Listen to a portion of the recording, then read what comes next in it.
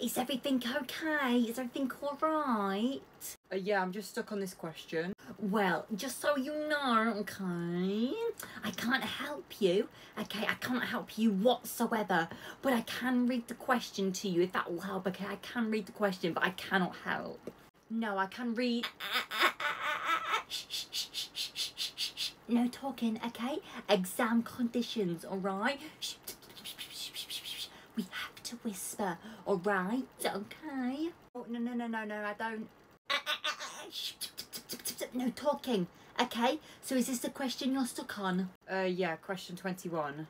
Okay, so the train left the station at 11 o'clock, okay? What time, okay, that is what time will it arrive at the next station if it's going at 70 miles per hour? All right, do you understand? No, no, I don't get it.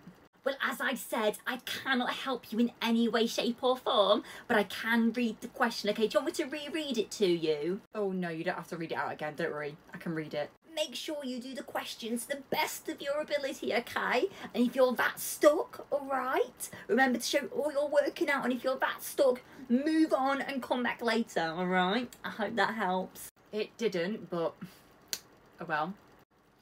Just to remind everybody, make sure you are double checking your work, okay? A silly mistake could cost you a mark, alright? It could drop you down a grade.